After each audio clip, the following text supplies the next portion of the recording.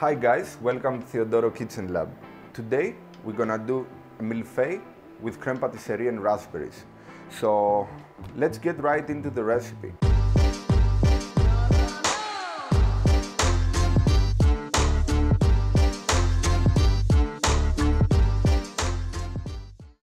In this pot we have 900 ml of milk with 135 grams of sugar. So we keep this to boil and in this bowl we have 135 grams of sugar and we add 100 grams of corn flour, 6 egg yolks and 100 grams of milk.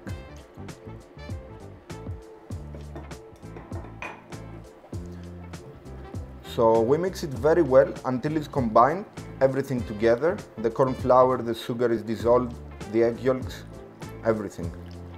And we're waiting this mix to reach boil. So we stir it very well and we bring it closer so we can work with it. So we're gonna need a ladle so we can transfer this mix into the bowl. Mix, we need to mix very, very well. So this is combined very, very well and when we add the mix, the eggs are not gonna be scrambled. So make sure that you stir it very well. And the sides, take also the mix from the sides and put it in, like all of it, nicely. So in the meantime, I'm just gonna check the temperature of my milk, just to see where I am. If you don't have a, if you don't have a thermometer, it's fine. When you see that it start like steaming and uh, making something like a, like a cover on the top, we're gonna start slowly, slowly add the milk on the mix. You need to be very careful and very precise. Don't just dump the milk inside. Your eggs are gonna get cooked really, really quick. Give it a little bit time and stir it until the next ladle.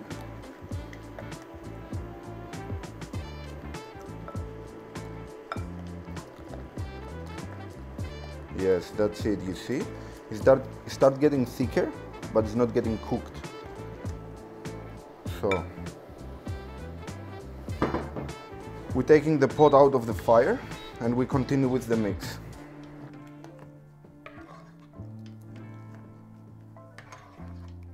We are okay to transfer the bowl into the pot.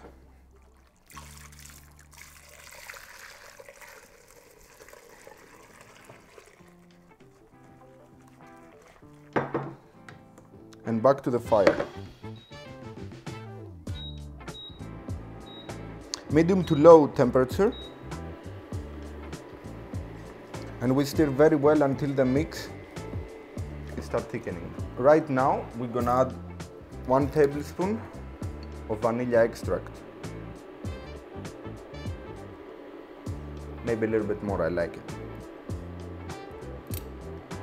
So you need to have it in medium, medium high heat because if you if you have it too low it's gonna split and if you have it too high it's gonna be scrabble. So you need to be medium to high and still still very well. Yeah you see now it start getting thick. Now is the issue. Like now we need to be really really careful. So we're taking out of the fire. The pot is still hot on the bottom right? So when you see that this mix is start getting thick and you continue cooking it 100% in that temperature that you have it, you're gonna boil it. So at the moment that you see that it's ready to boil, take it out of the fire and you see it's getting thick and even in the same pot because the bottom is still hot. So be careful. We're just gonna taste a little bit to see where we are. Oh, damn. Yes and we add the butter and we stir it very well. So in that case now, you're gonna see your beautiful cream that's gonna start being shiny. This from the butter. It's gonna take a nice like shiny like, I don't know, a texture like so good guys. I'm sure if you do that home, definitely you're gonna take some pride. Like it's not an easy thing to do like home, right? And uh, if you never did it before, uh, definitely you're gonna take a lot of pride. We're gonna spread our cream over here. So it's gonna cool down faster.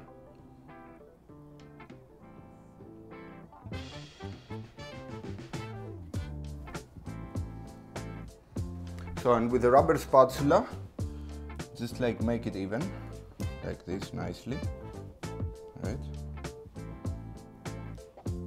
Beautiful.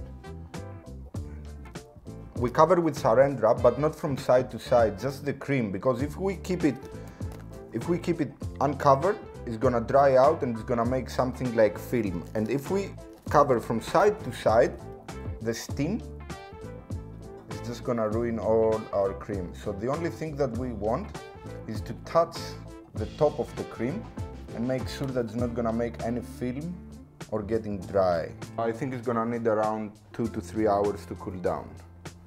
And uh, your creme patisserie is ready. We're gonna start with our pastry. Um, just in case that you don't have like uh, something to make the sardines or whatever, I use just a cup. So nicely cut your dough with the cup. I already preheat my, my oven, uh, 400. Uh, the time approximately it's gonna need I think around 20 minutes for this uh, process. I'm not gonna put anything else. Some other people put butter or egg wash or whatever, whatever. I'm not gonna do anything. And uh, I'm just gonna keep some of this dough and I cook it here in the middle. So I'm gonna use it as a crumbs on the top at the end. Something very important, make some holes in the dough so it's not gonna rise too much because we don't want it to rise too much. And we're going in the oven. That's it. For garnish, we're gonna use fresh raspberries. And uh, I have over here uh, ready-made like marmalade, which uh, at the end I'm just gonna add a little bit water to make it more thin. And I'm gonna garnish on top. It's gonna be great. We just took uh, the puff pastry out of the oven. We kept it a little bit to cool down like approximately like 10-15 minutes so we can work with it and it's not gonna be too hot and uh, melt down our cream. So let's start plating. So I'm just gonna put a little bit in the middle so it's gonna hold the rest. Here, nice. I'm gonna fill up my piping bag.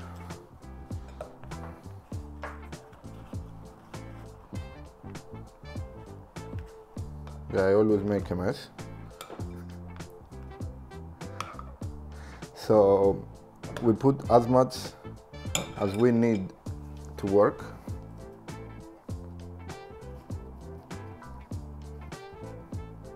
Take out the air, press it a little bit, nice. So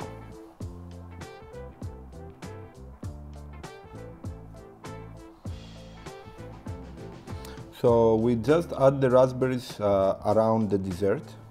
We put the cream in the middle and all the rest around it, nice and tight.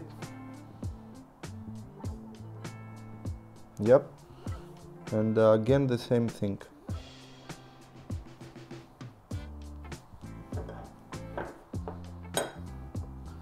And round two.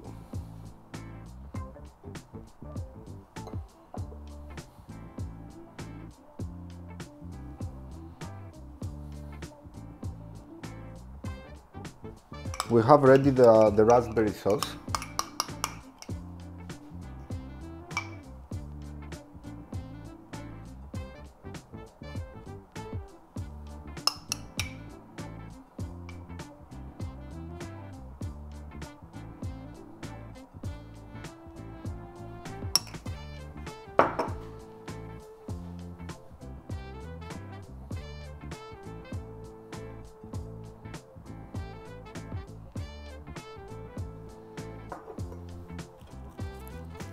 I personally love it. It's one of my favorite desserts. If I wanna impress someone or like light, it's, it's a great dessert.